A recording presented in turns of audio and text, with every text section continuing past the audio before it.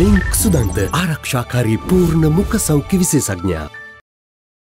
මේ අතර එක්සත් ජාතික පක්ෂයේ වත්තල ආසන බලමණ්ඩලය අද පැවැත්වුණේ සංචාරක හා ඉඩම් අමාත්‍ය හරින් ප්‍රනාන්දු මහතාගේ සංවිධානත්වෙන්.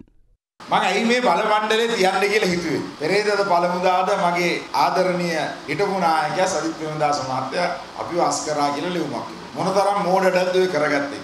ඒක ඔබතුමාලා තව මාස 3-4කින් විතර තීරේ. හැබැයි ඔබතුමාලට මාව තාම හඳුනන්නේ නැහැ. මම හැමදාම අභියෝග බාරගත්තා.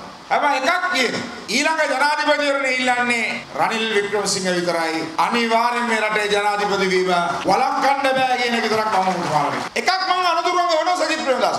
දැන් ගෝඨාභයට පෙරදිලා රනිල් වික්‍රමසිංහ මහත්තයා ඉල්ලලා රනිල් වික්‍රමසිංහ මහත්තයාට පරදුනවා. සජිත් ප්‍රේමදාසගේ දේශපාලනය එතනින් ඉවරයි. ඒ නිසා මූලයේ කල්පනා කරන පස්සේ හරි එන්න ඌමනාවක් තියෙනවා නම් ගෙදරයි. මම ඔට්ටුවක් දාලා කියනවා මාය මනුස්සයයි. එයා ඡන්දෙ ඉල්ලන්නේ නැහැ. මට විදාක දානදිකම ආഘോഷි කරන්න ඕන සම්මන් ඩලස්ස දානවා. ඩලස් ගාලා ඩලස්ස දාලා මිනිහා හොරෙන් හැංගිලා ඉන්නේ. හෙට අනිද්ද වෙනකොට තව කණ්ඩායමක්ම කඩාගෙන එනවා.